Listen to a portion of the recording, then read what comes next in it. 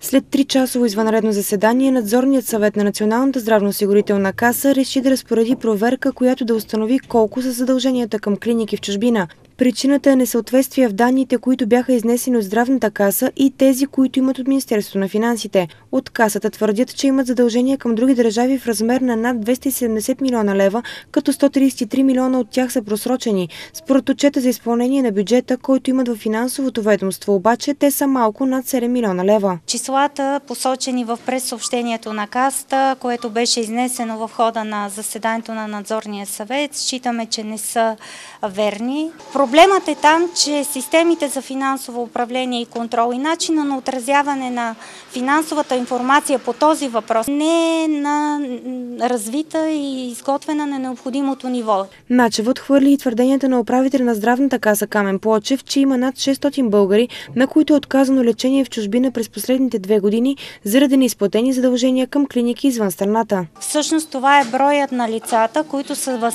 заявили възстановяване на плащанията след оказано им лечение в чужбина. По един или друг повод няма нито една жалба поступила в касата от конкретно лице, нито е застрашено лечението, на което и да е лице в чужбина. Предвидените средства през 2018 година за погасяване на дълговете към чуждестранни болници е 73 милиона лева.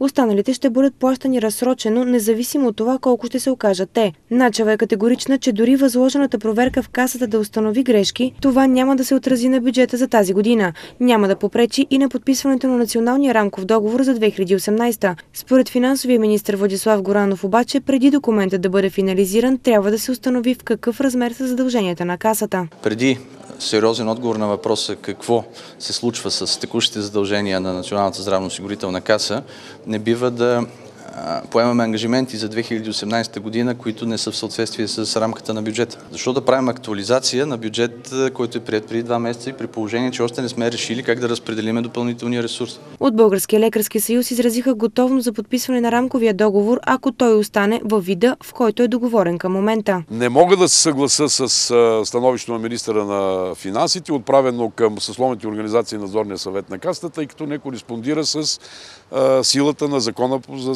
здравното осигуряване. Становището на управителния съвет на Български лекарски съюз е за подписване при условие, че параметрите, както в постигнатите текстове, така и в финансово отношение не са променени. Очаква се проверката в здравната каса да приключи в понеделник. Тогава трябва да бъдат завършени окончателно и преговорите по националния рамков договор, тъй като по закон той трябва да бъде подписан до края на февруари.